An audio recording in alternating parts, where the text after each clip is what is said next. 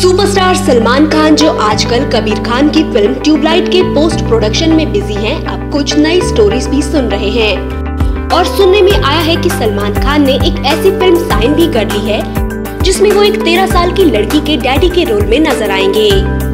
बताया जा रहा है कि ये फ़िल्म एक डांस बेस्ड फ़िल्म होगी जिसमें सलमान एक ट्रेन डांसर के रोल में नज़र आएँगे।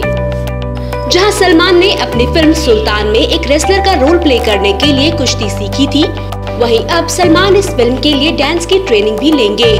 हालाँकि इस फ़िल्म के ज़्यादा डिटेल्स अभी सामने नहीं आए हैं, पर इस फ़िल्म को choreographer turn film maker Remo D'Souza direct करेंगे। इससे पहले सलमान ने जब प्यार किसी से होता है में एक टीनेज बॉय के डैडी का रोल प्ले किया था। ये तकरीबन 18 साल पहले की बात है।